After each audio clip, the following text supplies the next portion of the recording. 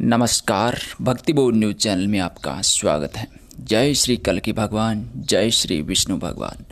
आज के इस वीडियो में हम एक पौराणिक प्रसंग के ऊपर बात करने वाले हैं कि आखिर विष्णु भगवान का सच्चा भक्त कौन है? आखिर भगवान विष्णु को सबसे प्रिय कौन है? तो चलिए एक कथा के माध्यम से हम आपको बताते हैं।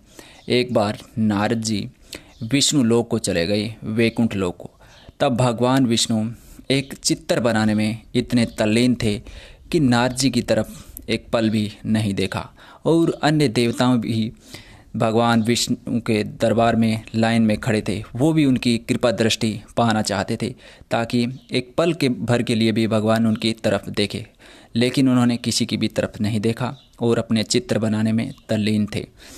तभी नारद जी ने सोचा कि ऐसा आखिर उनका ऐसा भक्त कौन सा है कि वो चित्र बनाने में इतने तलीन हैं और उनकी तरफ़ भी देख नहीं रही हैं? तब वो माता लक्ष्मी के पास गई और बोले कि, माता, हमें बताएँ कि भगवान किसका चित्र बना रहे हैं? तो बोले कि, वो अपने सबसे बड़े भक्त का चित्र बना रहे हैं, पास जाकर देख लीजिए। तो नारद जी पास जाकर देखते हैं कि एक मेले कुचेले और अर्धनगन एक चर्मकार जैसे दिखाई देने वाले व्यक्ति का भगवान ध्यान मुद्रा में चित्र बना रहे हैं। तब तो नारद जी और भी विहल उठे। उन्होंने सोचा कि मैं भी उनका इतना अच्छा भक्त नहीं हूँ, वो तो किसी और का बना रहे हैं चित्र तभी वो वापस भूलोक को आ गए और घूमते घूमते पृथ्वी पर कई दिनों बाद उन्होंने एक चरमकार को देखा, जो चरम के ढेर में बैठा था, पसीने से लथपथ था। तो उन्होंने पहचान लिया कि भगवान इनका ही चित्र बना रहे थे। और वो उनके पास तो नहीं रह सके, क्योंकि दुर्गंध बहुत ज़्यादा आ रही थी चाम के ढेर से। नारजी एक स्थान पर खड़े होकर प्रतीक्षा करने लगे कि आखिर इनकी दिनचर्या के बारे में देखते हैं कि आखिर ये भगवान की भक्ति कैसे करते हैं। तो नारजी एक तरफ़ खड़े हो गए और पूरा दिन बीत गया। तो नारजी ने सोचा कि ना मंदिर गए, ना भगवान का सुमरण किया तो भी ये उनके सबसे प्रिय भक्त कैसे हो सकते हैं। तभी नारजी को गुस्सा आ गया और भगवान विष्णु को श्राप देने के लिए हाथ उठाया था कि माता लक्ष्मी वहाँ पर आ गई और बोली, नारजी, आप इतने विहल क्यों हो रहे हो?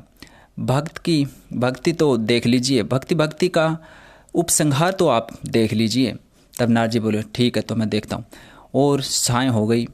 तब उस भक्त ने अपने गठरी को संभाला और सभी वो जो बना रहे थे, वो गठरी में बाँध कर प्रणाम किया और बोले, हे प्रभु, आपने मुझे ऐसा अच्छा काम दिया और उस कार्य में मेरा मन लगा। ऐसा ही मैं आपसे मांगना चाहता हूँ और आपका सुमरन भी करता रहूँ और कार्य भी करता रहूँ। ऐसा ही मुझे प्रतिदिन आप मेरे ऊपर ये उपकार बनाए रखना प्रभु। ऐसी कृपा आप मुझ पर ज़रूर करना। तब नारद जी समझ गए कि भगवान उन्हीं पर कृपा करते हैं।